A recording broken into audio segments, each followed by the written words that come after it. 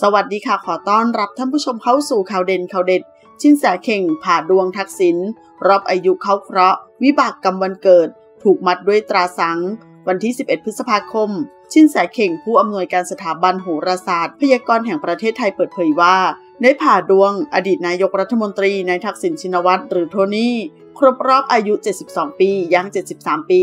ช่วงจังหวะปีเกิด หวังเสริมดวงชะตารุกหนัก หวังเอาชนะรัฐบาลและประชาชน เพื่อหาจังหวะกลับบ้านเกิด แต่อุปสรรครอบนี้ยังมีอย่างต่อเนื่อง ปี 2564 ต่อเนื่อง 18 เดือน ไม่ได้ดั่งใจที่คาดหวัง มีเรื่องให้อึดอัดหงุดหงิดไม่สบายใจ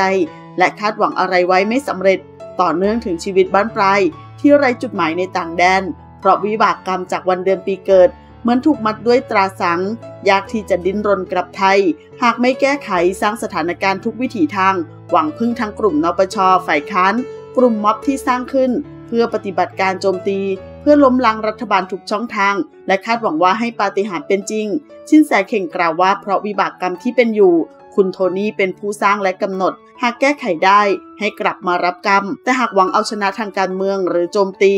ยิ่งทำยิ่งพ่าย ความสำเร็จไม่มีเกิด ถึงแม้เดือนกันยาจะเป็นเดือนที่บอกถึงการเสริมดวงคุณโทนี่ก็ตาม แต่ไม่ได้หมายความว่าวิบากกรรม และรอบอายุที่เข้าเคราะห์ที่ยังเหลืออยู่อีก 9 เดือนจากนี้ไป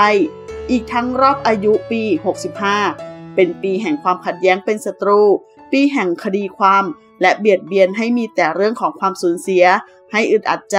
กับปัญหาที่ไร้สาระไม่เป็นเรื่องเป็นราวชีวิตจากวันเดือนปีเกิดที่ผูกดวงไว้ เหมือนถูกมัดด้วยตราสังกับวิบากกรรมของอดีตนายก จากการกระทำของตนเอง หากจะกลับคืนติดคุกหรือหรือล้มประเทศได้ให้เปลี่ยนระบบการปกครอง อย่างไหนจะยากกว่า เพราะจากการกระทำที่เกิดขึ้นมา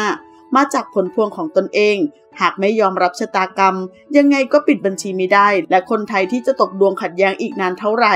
อย่างที่ท่านเคยพูดไว้ ตราบใดท่านกลับไม่ได้ คนไทยก็อย่าหวังจะมีความสุขชินแสเข่งกล่าว ขอขอบคุณข้อมูลจากข่าวสดขอบคุณค่ะ